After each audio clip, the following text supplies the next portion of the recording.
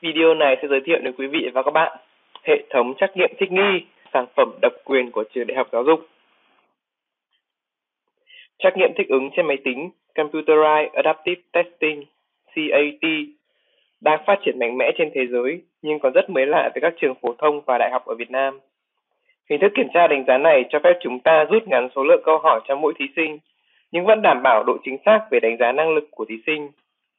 CAT hoạt động dựa trên lý thuyết ứng đáp câu hỏi, Item Response Theory IRT với ưu điểm vượt trội là ước lượng đúng năng lực với hầu hết tất cả các thí sinh. Trong khi bài kiểm tra cũ chỉ ước lượng đúng năng lực của các thí sinh, có năng lực trung bình.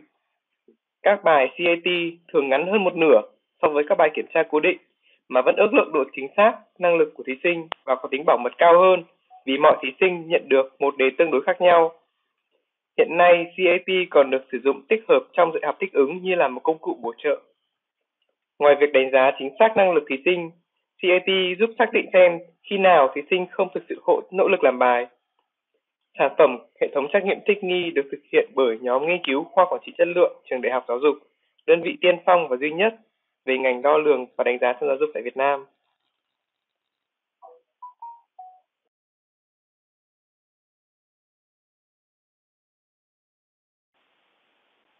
Đầu tiên, chúng ta sẽ tìm hiểu quy trình tạo đề kiểm tra và nhập câu hỏi trong đề kiểm tra.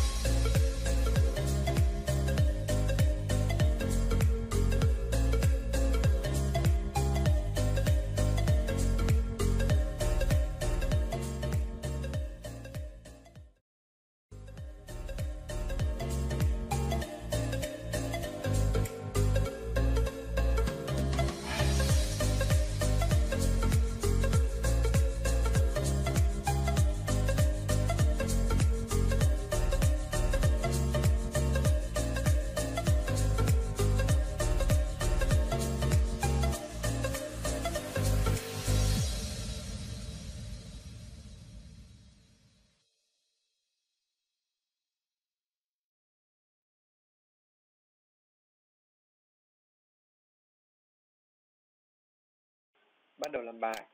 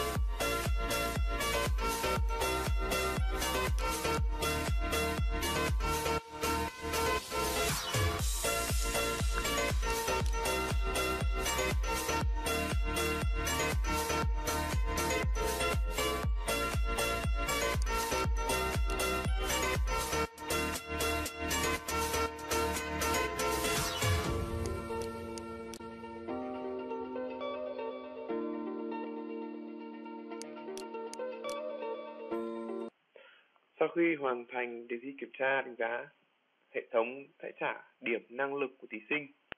Ở đây, hệ thống trả về điểm năng lực cho tôi là 97,95 với 22 câu hỏi được thực hiện.